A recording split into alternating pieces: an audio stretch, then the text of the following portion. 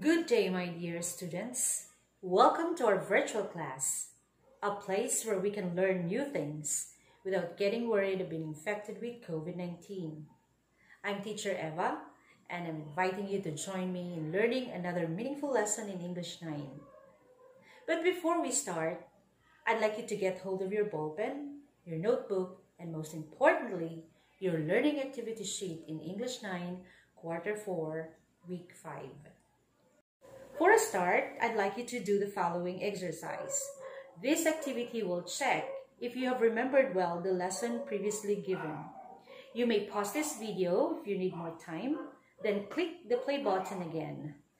Once you're done, you may proceed and continue with the activity.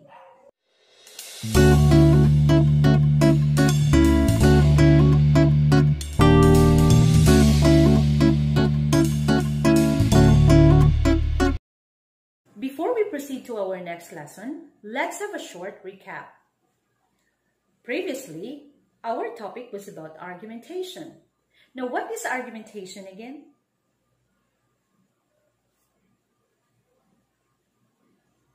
Very good. Argumentation is a type of discourse based on opposing views that are supported by evidence. Now, why do we use argumentation? We argue to inquire, to convince, persuade, and negotiate. Now that we have recalled the purposes of argumentation, this time we will find out our lesson for today. Are you ready? Let's get started. Today's lesson would be focusing on judging the validity of an evidence from a text. With so many information around us, we must learn how to validate which information is true and which one is not. And so, our objective for today's lesson is first, to evaluate the validity of a text, and second, to identify evidence to support claims. But the problem is, how can we judge the validity of a text? Before answering that question, I would like to show you jumbled letter words and your task is to arrange them to form a word.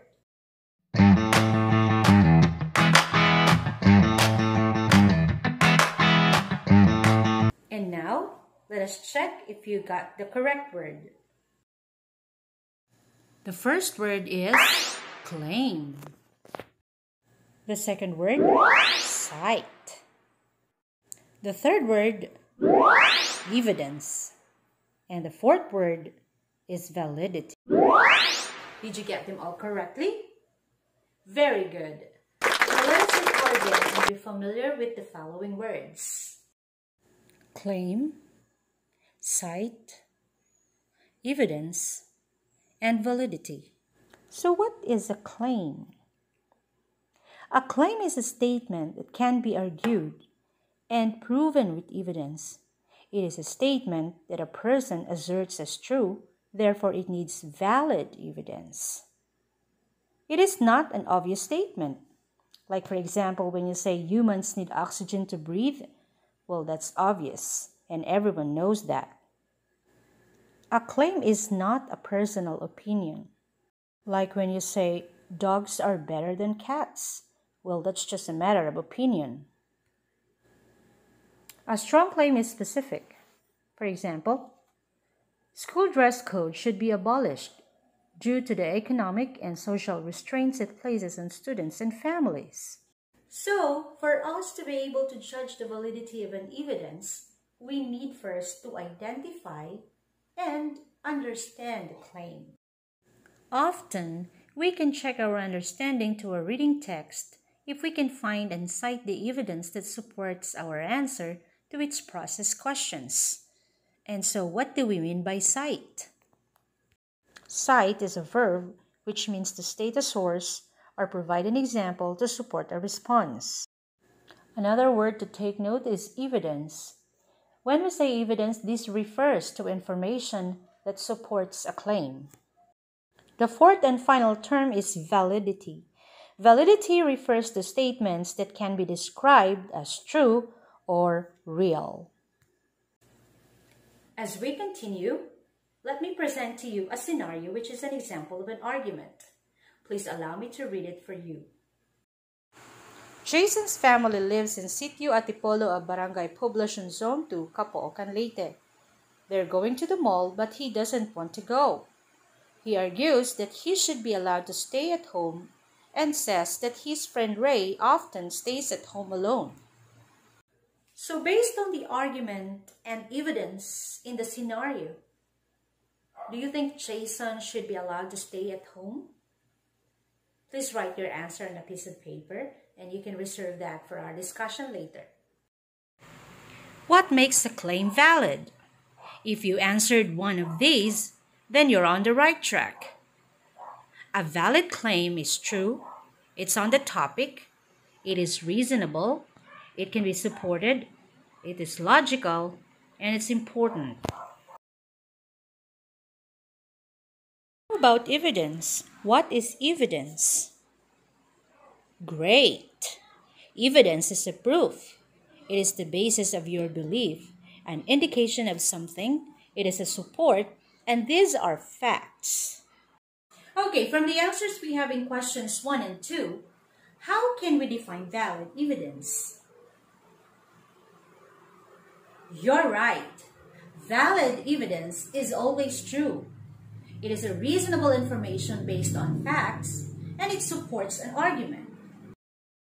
Okay, so now we know what valid evidence is. Our next problem is to ensure that we have a valid evidence. How can we ensure that we have a valid evidence? Correct. We can make sure that our evidence is valid if we're able to cite the source of our proof and provide acceptable examples to support our claim. Okay, now let's try to check your answers from the scenario given at the beginning of this lesson. If you want to change your answer, it's okay, you may do so. Now let's try to analyze the scenario. Jason's family is going to the mall. but Jason argues that he should be allowed to stay at home and says that Ray often stays at home alone. Now the question is, was Jason able to provide a valid evidence in his claim to support his argument of staying home alone? Yes or no? And why? Exactly. Unfortunately, Jason failed to provide valid evidence. His reasons wasn't enough. He missed citing acceptable source or example to support his claim. So this scenario describes that a person's age does not determine whether he or she is capable of staying home alone. Just because Ray can stay home, it does not mean that Jason can do it as well. It was not an acceptable reason. There are two kinds of evidence in an argument. The first one is direct evidence. This is any piece of evidence that stands alone to prove an argument. Example, if a witness says he saw the accused set fire to a building. Number two is the indirect or the circumstantial evidence. This is a set of facts that, when taken together, lead to the desired conclusion. Example If he saw the accused sneakily leaving the building just before the fire broke out. Now, where do we get these pieces of evidence? Yes. When we use evidence in our arguments, make sure that it comes from reliable sources. Possible uh, source of evidence are newspapers, magazines, official documents, or public documents, historical papers, or even statements made by trustworthy public officials, or even private persons. But when you cite a person's statement as evidence, make sure that the person or the source is capable of giving the evidence, that he or she has a reputation for honesty and accuracy, and that he or she does not have prejudgment. Are you now ready for a short activity? Let's try this one. COVID 19 vaccines that are granted with Emergency Use Authorization or EUA by the Philippine Food and Drug Administration or FDA are considered safe and effective. Based on the available evidence to date, vaccines are some of the most thoroughly tested medical products today, and the COVID 19 vaccines are no different. COVID 19 vaccines cannot make you sick with COVID 19. These vaccines imitate the virus that causes disease and activate the body's creation of antibodies. These antibodies will provide protection once a person is infected with the actual disease causing virus. Can you tell me the point or the claim of the author here? Now let us see if your answer is correct. If your answer is this, you are definitely right. Now look at the point of the speaker. He says that COVID 19 vaccines are considered safe and effective. This time, let us see some evidence to support the point or claim. Can you spot the information that support the author's claim? Let us see if your answer is right. If this is your answer, excellent! You got it right. To support his point or claim, he mentions that COVID 19, like other vaccines, are tested, so it means it's safe. Let us read again the text and look for another evidence. Can you spot for another evidence that support the author's claim? Let us see if you are correct. Nice work! You spot another evidence. Based on another supporting details, these vaccines trigger the body's creation of antibodies that will provide protection. So, are you now convinced to the writer's claim? If yes, let's proceed to the next activity. In this age of technology, news spreads fast. When a story is a big news, it is very quick to spread. There is a lot of fake news coming around. We're not only having pandemic, but also infodemic. Several informations are circulating about the origin of COVID-19 virus, the efficacy of COVID-19 vaccines, the death of famous local and international celebrities, and even the products advertised on televisions we have to be very careful in sharing this news or information because we will be responsible for those information. So therefore, it is always important to check the reliability and the credibility of the sources of information for us to tell that the evidences used to support claim in an argument are valid. You learn something from our discussion today? Well, I hope you have learned many things. In case you missed something, you can always play the video. So we are now down to the evaluation part.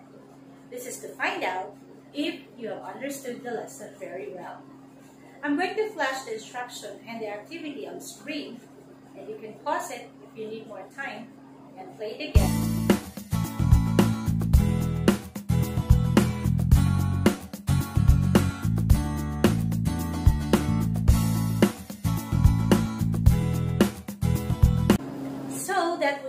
Today's session. I hope you have learned many things from the discussion. Please don't forget to submit your answer sheet on the next retrieval schedule.